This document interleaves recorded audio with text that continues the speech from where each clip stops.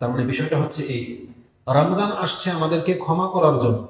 রমজান আসলো, আবার চলে গেল, আমাদের পাপ পাপই থেকে গেল, তাহলে এই ব্যক্তি ধ্বংস হয় কারণ মূলত এই ব্যক্তির পাপ থাকার মতো অবস্থা হওয়ার কথা ছিল না।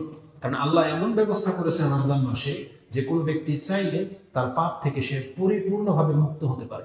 সে চাইলে পরিপূর্ণ তাপবান হতে পারে।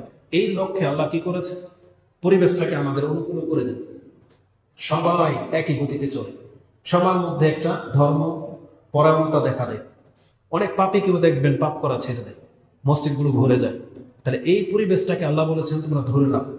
উপরন্ত, যেই শত্রু সবচেয়ে বেশি আমাদেরকে পাপের দিকে লিপ্ত করে, আল্লাহর পক্ষ থেকে বলা হয়েছে যে সেই শয়তানকে এবং দুষ্ট জিনদেরকে বন্দি করে রাখা এজা যা আর মাদাম সুফিদাতি শেয়াতি অমরাদাতুল জিন। বলা হয়েছে, শয়তানকে এবং দুষ্ট জিনদেরকে শৃঙ্খলাবদ্ধ করা হয়। তাহলে আল্লাহর পক্ষ থেকে যত রকমের প্রোটেক্ট করার আমাদেরকে করে দেওয়া হয়, তারপরও যদি মানুষ আল্লাহর পথে আসতে না চায়, তারপরও যদি মানুষ নিজের বদভ্যাসগুলো পরিবর্তন করে তাকেও অর্জন করতে না পারে, এটা নিতান্ত তার ব্যর্থতা। এজন্য এই জিনিসটা মাথায় রাখতে হবে। মানে আল্লাহর পক্ষ থেকে সব রকমের সুবিধা আমাদেরকে দেওয়া হয় রমজান মাসে। এবং রাসুল্লাহ সাল্লাহ আলহি ওয়াসাল্লাম আমাদেরকে সেই সংবাদগুলো দিয়েছেন। তার মানে আল্লাহর পথে পা বাড়াতে আমাদের কোনো বাধা থাকে না। এরপরে যদি কোনো ব্যক্তি সেই পথে না আসে, তার মানে আল্লাহ প্রমাণ করে দিতে চান যে এটা নিতান্ত তোমার ইচ্ছার ব্যাপার ছিল। তার মানে তুমি আল্লাহর পথ আসতে চাওনি, তুমি আল্লাহর পথ ধরতে চাওনি। এই জন্য তুমি স্বেচ্ছায় জাহান নামীদের অন্তর্ভুক্ত রয়ে যেতে চেয়েছো। এটা আল্লাহ প্রমাণ করে দেবে রমজান মাসে। তো ওই কথাগুলোই থাকতো, যেটা ইনশাল্লাহ আগামী সপ্তাহে যেখানে খুব সেখানে পেশ করা হবে। তো এই রমজান কোন অবস্থাতে যেন আমাদের ছুটে না যায়? এই রমজানে যেন আমরা আমাদের ভালো জিনিসটা পেশ করে দিতে পারি। একজন আলেম বা সালাবদের বক্তব্য দেখতে দেখতে তার একটা কথা ছিল এরকম যে আল্লাহ আল্লাহ তোমাদেরকে ক্ষমা করার জন্য তিনি বহু কথা বলেছেন। রমজান মাসের বরকত সম্পর্কে, সিয়াম সম্পর্কে, কোরআন সম্পর্কে। এক কথায় রাসুসলামের একটা হাদিসে বারবার আমার মনে যেটা বুখারি মুসলিম রয়েছে। রাসুলাম বলেছেন লাইসা আহাদুন আহাব্বা মিন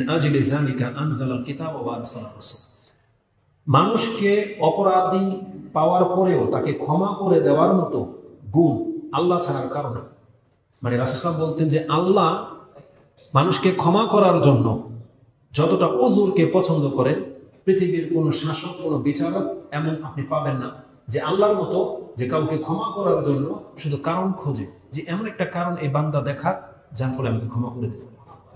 আল্লাহর মতো কেউ নাই। রাসুল বলছেন, লাইসা আহাদুন আহাব্বা ইলাইহিল মানে আল্লাহর কাছে আপত্তি যত পছন্দনীয়, যে একটা ব্যক্তি ও একটা পেশ করে দেখ যে কি কারণে ওই পাপটা করেছে। কি কারণে ওই দিন ওর এই আমলটা ছুটে গেছে। ও একটা ভালো, একটা গ্রহণযোগ্য উজুর পেশ করে দেখ। যেমন কাব রাজি আল্লাহ তালুর ক্ষেত্রে কি আসছে?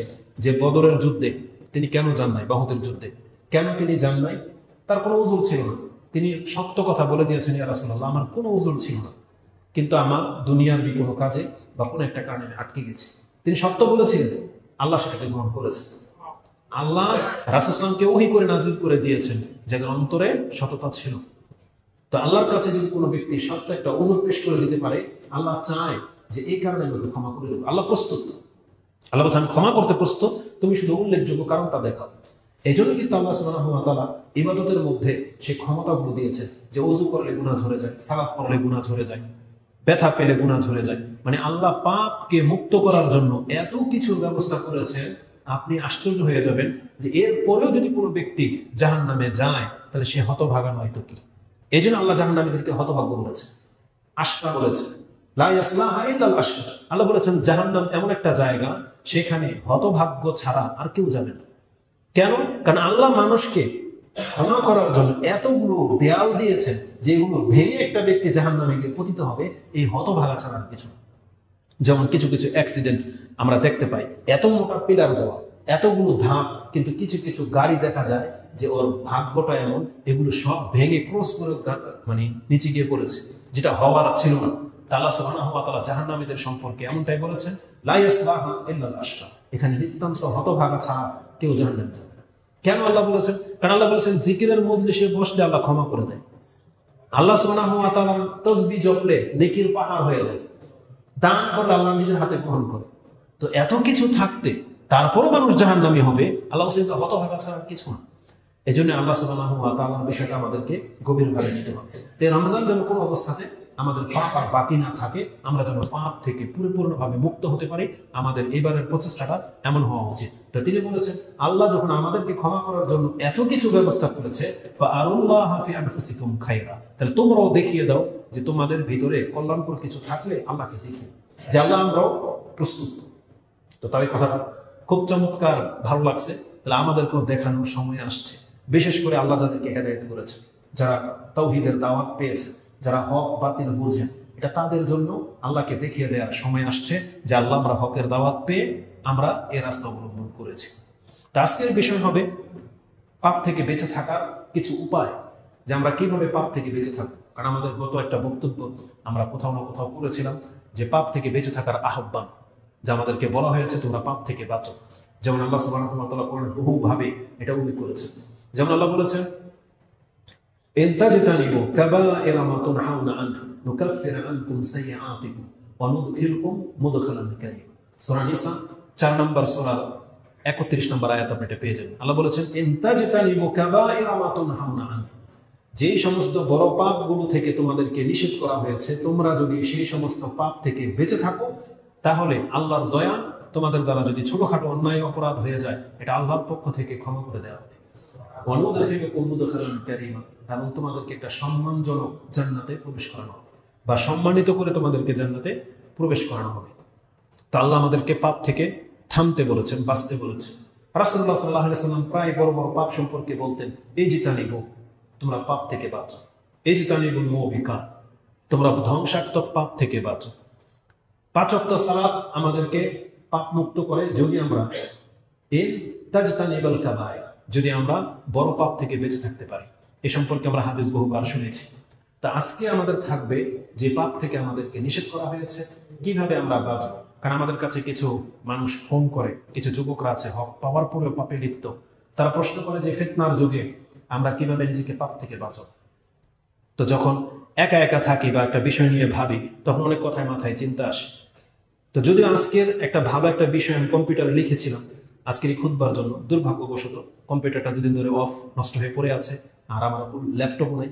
দুঃখজনক হলো, আমাদের সাথে যারা চলাফেরা করে তারা ভালো করে বোঝে আমার সম্পর্কে, যে আমি কোথায় থাকি, কে আছে। এমন একটা লোক নাই যে আমাকে কোনো একটা কাজে হেল্প করতে পারে। আমরা যখন স্ট্যাটাস দিই হেল্প চাই কারও কাছে, এটাকে আবার তারা ঠাট্টার ছলে নেয়। যে একটা ল্যাপটপ লাগবে, এটাও আপনাকে ফেসবুকে পোস্ট করতে হবে।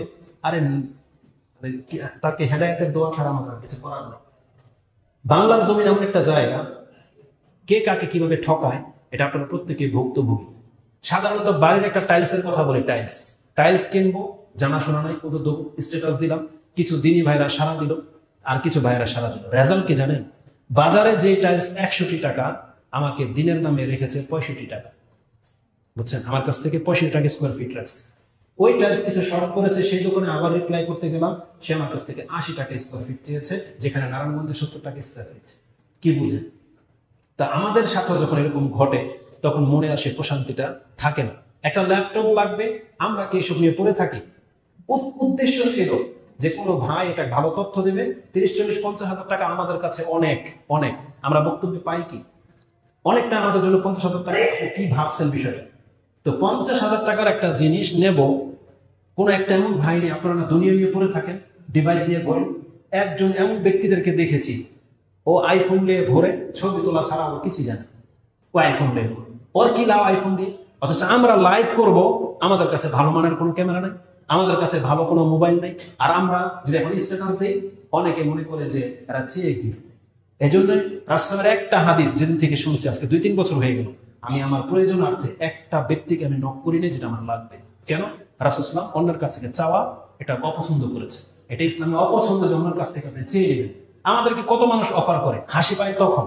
যখন দেখি যে আমার ফলোয়ার অনেক, ইউরোপ আমেরিকাতে কিন্তু অভাব নেই। মাশাল্লাহ খুই ফুটাই নাই। আলহামদুলিল্লাহ সুবাহ আল্লাহ মাশাল্লাহ এগিয়ে যান ভাই, আপনার সাথে আছে এগুলো বললে আপনি দেখবেন অভাব নাই লোক। কিন্তু প্রয়োজনের সময় মানে কি বলব আর? তাদেরকে আর খুঁজে পাই না। তো দুঃখ হয়। তো ল্যাপটপটা রিসেন্টলি দুই দিনের মধ্যে কিনতে পারিনি। একটু আগে ভাইকে বললাম যে কোনো ব্যবস্থা থাকলে, কারণ খুব দ্রুত দরকার। নাহলে এটা ছাড়া আমাদের ডিভাইস বক্তব্য রেডি করার মতো কোনো অপশন নাই। কিন্তু এই বিষয়গুলো আমি বুঝতে চাই। ঠাট্টা করে আমাদের সাথে। আলাকুলিহা তো এখানে বসে বসে যতটুকু পেরেছে আমি এখানে লিখেছি যে পাপ থেকে বেঁচে থাকার জন্য আমার মেমোরিতে যতটুকু কথা আছে। তো সেখান থেকে কয়েকটি কথা আমি আপনার কাছে বলব। যদি একটা ভালো বিষয় আজকে লিখেছিলাম এটা প্রিন্ট আউট করতে পারিনি কম্পিউটার থেকে। তো আল্লাহ সুবাহতাল্লাহ সহজ করে। তো এখানে যে বিষয়টা আমি আপনার কাছে পেশ করব, সেটা হচ্ছে পাপ থেকে বেঁচে থাকার জন্য ও যেটা বলতে গিয়ে বলেছিলাম, তো আমাদেরকে বলে যে এই ফিতনার যুগে আমরা কীভাবে পাপ থেকে বাঁচবো? তখন একা একা যখন আপনি ভাববেন, আপনি বলেন তো দেখি, ইসলাম যেই সময় এসেছিল, ওই যুগের ফিতনার চাইতেও কি বর্তমানের ফিতনা অনেক বড়? আপনি দেখতে পাবেন যে না, বড় না। সেই যুগে এমন একটা যুগ ছিল, যেই যুগে রাসুলকে নবদ দেওয়া হয়েছে যে যুগে আবু বকর সিদ্দিক ওমর তাআলা আলী তাআলার মতন ব্যক্তি রাসূলের কথা শোনার মাত্রই গ্রহণ করে নিয়েছে ওই যুগের ফিতনাটা আপনার যুগের সাথে তুলনা করলে এটা কিছুই না। কিছুই না এটা। আমরা অন্তর থেকে দেখেন প্রশান্তির সাথে দেখতে পাচ্ছি এত মুসলিম। দেখে আমি আপনি ইসলাম গ্রহণ করতে পারি, কোনো বাধা নাই। আর সে যুগে শুধু মোহাম্মদ সাল্লাহ সাল্লামের সংবাদ ছাড়া এটাকে গ্রহণ করার মতন কোনো উপায় ছিল না।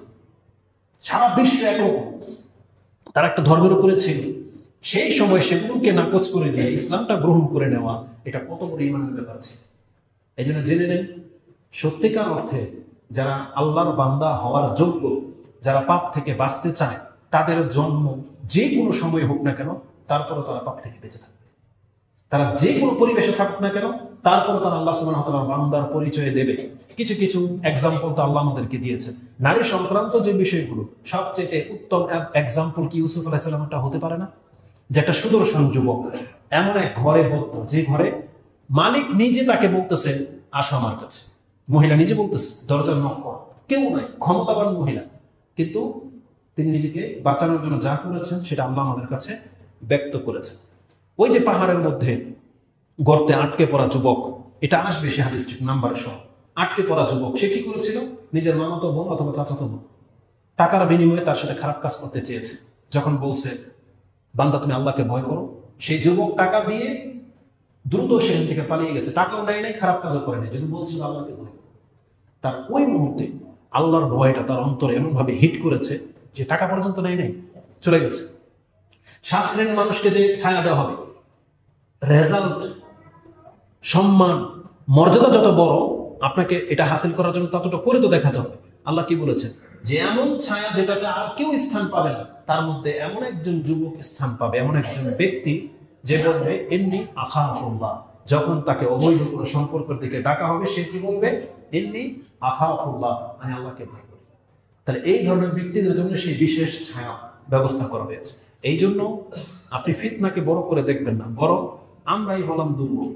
আমাদের ইমান অত্যন্ত কাঁচা। আমরাই হলাম নোংরা। কারণ আমরা যদি পাক্কা ইমানদার হতাম ইমান যদি মজবুত হতো, এই ফিতনা কোনো ফিতনাই না। কোনো ফিতনাই না বর্তমানে। আপনি চাইলে নেট ব্যবহার করা ছাড়াও থাকতে পারেন। আপনি চাইলে যে সময়টা আপনি মার্কেটে ঘোরেন, সেই সময়টা আপনি মসজিদে আসতে পারেন সেটা আসেন না তো। আপনি চাইলে কোরআন পড়তে পারেন, কিন্তু আপনি করেন না তো। প্রত্যেকটা যুগ সবসময় কোনো না কোনো ফিতনা থাকে। আর আল্লাহ ওয়াদা যেহেতু করেছেন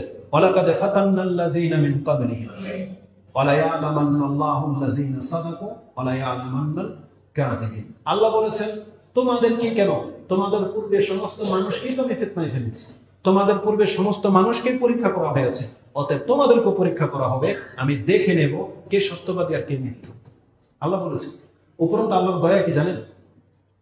যেই যুগের ইমান যত বেশি নর্বর, আল্লাহ তাদেরকে পরীক্ষা করা হয় হালকা করে। যার ইমান যত দুর্বল, তার পরীক্ষাটা হালকা হয়। যেমন ওয়ানের ক্লাসের যে প্রশ্ন, ওটা আপনাকে মেট্রিকে করা হবে না। টেনের যে পরীক্ষা, ওটা কি ওয়ানের মান? তাহলে ওয়ানের বাচ্চা যতটুকু ধারণ ক্ষমতা রাখে, তার পরীক্ষাটাও কিন্তু ওই রকমেরই হয়। আর হাই স্কুলের হাই ক্লাসের বাচ্চাদেরকে যে প্রশ্ন করা হবে, ওটা ওই প্রশ্নই করা হয় যেটা তারা যোগ্যতার সাথে যায়। এই জন্য ইসলামটাও ঠিক তাই। আল্লাহ সুবাহ ইব্রাহিম আলহ ইসলামকে যে পরীক্ষা করেছেন, এটা আমাকে আপনাকে আল্লাহ করবেন না কখনোই। কারণ আল্লাহ ভালো করেই জানেন যে ইব্রাহিম আলাহ ইসলামের ইমানের সাথে কম্পেয়ার করলে আমাদেরটা জিরো এই জন্য আল্লাহ আমাদেরকে ফেতনায় ফেলবেন না।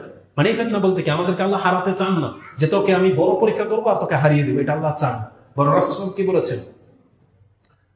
মানসা আলাবা ইমাম তিরমিজি হাদিসটাকে কোট করেছে, রাসুল কি বলেছেন? এবং বুখারি এবং মুসলিমের মধ্যে রয়েছে যে কাকে সবচেয়ে বেশি মানে কষ্টে পরীক্ষা করা হয়, কার পরীক্ষাটা সবচেয়ে বেশি? এই মুহূর্তে ভাষাটা মনে করতেছেন রাসূল বলেছেন আলাম্বিয়া আমসাল ফাল বড় পরীক্ষা করা হয় নবীদেরকে সুম্মাল আমসাল ফাল আমসাল। তারপরে মানের দিক থেকে যারা প্রাধান্য পাবে তাদেরকে, তারপরে তাদেরকে। তার মানে রাসূলদের পরে সবচেয়ে বড় পরীক্ষা করা হয়েছে সাহাবায়ে কেরামদেরকে তারপরে তাবিদিন তারপর আমাদের পর্যন্ত আসছে। তার মানে যার মান মর্যাদা যত বেশি তাকে পরীক্ষা করা হয়, তত বেশি। তারপরে বলেছে, মান কানা যে ব্যক্তি তারা ধর্ম পালনে শিখে খুফিফান তাহলে আল্লাহ তার পক্ষ থেকে পরীক্ষা করে হালকা। ওমান কানা ফি দীনিহি সালাবা জিদা সালা জিদা ওই আরবিটা মনে করতেছে না। আল্লাহ বলেছেন যে ব্যক্তি তার দিনের ক্ষেত্রে কঠোর, আল্লাহ তার পক্ষ থেকে আরেকটু বড় পরীক্ষা তাকে করে। মানে যার মান যেমন তাকে পরীক্ষা ততটা করা হয়, এবং তার রেজাল্টও বেশি। এমন না যে আপনাকে বড় পরীক্ষা করা হয়েছে, আর আপনাকে সম্মান বেশি দেওয়া হবে না, এমন নয়। সম্মান তো আপনাকে বাড়িয়ে দেওয়া হবে। আলাকুল্লি হান আমি যেটা বোঝাতে চেয়েছি, প্রত্যেক যুগের লোকদেরকে আল্লাহ ফেতনা দিয়ে পরীক্ষা করেছে আমাদেরকে আল্লাহ করেন, কিন্তু এটা আপনি ইমান রাখেন, বরং তাদেরকে যত বড় পরীক্ষা করা হয়েছে, সেই তুলনায় আমাদের পরীক্ষা কিন্তু আরও অনেক হালকা। যেই ফেতনার কথা আপনি বলতেছেন, যুবক, যে আমরা মহিলার ফেতনায় পড়ে যাচ্ছি, নিটের ফেতনা, আপনি জেনে এটা থেকে বাঁচা কম বড় ব্যাপারই কোনো ব্যাপারই না। আমাদের সাথে এমন বড় পরীক্ষাই করা হয় নাই, যেটা ওই যে সুরা বুরুজ আপনি পড়েন না, যে আল্লাহর প্রতি ইমান নিয়ে আসার কারণে তাকে, তাদেরকে গর্ত করে আগুনে ফেলে দেওয়া হয়েছিল। আমাদেরকে কি সেরকম পরীক্ষা করা হয়েছে? করা হয়নি। ইব্রাহিম আলাইসালামের মতন আগুনে ফেলা হবে, এরকম পরীক্ষা করা হয়েছে? করা হয়নি। মোহাম্মদ সাল্লাহ আলী আসাল্লামকে রাতারাতি গুহাতে আশ্রয় নিতে হয়েছিল। আমাদের সাথে এমন পরীক্ষা করা হয়েছে? করা হয়নি। কাহাপাশের সাত যুবকের সাথে যে ঘটনাটা ঘটেছিল, আমাদের কারও জীবনে এমন কিছু ঘটেছে? ঘটে নাই। তাহলে কোন ফিতনার কথা আপনি বলতে চাচ্ছেন? কোন ফিতনা? কিসের ফিতনা আপনি? এটা এই ফিতনা, এটা জন্মদাতা আমরাই। আমরা ইচ্ছা করে সেই ফিতনায় জড়িয়ে যাচ্ছি। আর দোষ চাপাই ফিতনাকে। মূলত এটা আল্লাহর পক্ষ থেকে না, এটা আমাদের হাতের কামাই আমরা এই পাপগুলোকে বেছে নিচ্ছি। এই পাপের পথ আমি আর আপনি বেছে নিচ্ছি। আপনি যাচ্ছেন ইচ্ছা করে মার্কেটে, যাচ্ছেন আপনি পার্কে, আর আপনি বলতেছেন, হুজুর, মহিলাদের ফেতনা থেকে বাঁচবো কীভাবে? এটা আমাদের হাতের কামাই। আল্লাহ রাসূল আলাইহি সাল্লাম থেকে যে দিক নির্দেশনাগুলো আছে, আসুন তার মধ্যে কিছু দলিল উঠে আসুন প্রথমত, যে কোনো ফিতনাকে আপনি ভয় পাচ্ছেন, এখান থেকে বাঁচার একটাই উপায়, সবচেয়ে বড় উপায় এটাই। যদি সত্যি আপনি এটা জীবনে, আমি আর আপনি যদি বাস্তবায়ন করতে পারি, ইনশাআল্লাহ আজিজ, সে যে কোনো ফিতনা থেকে বেঁচে যেতে পারবে।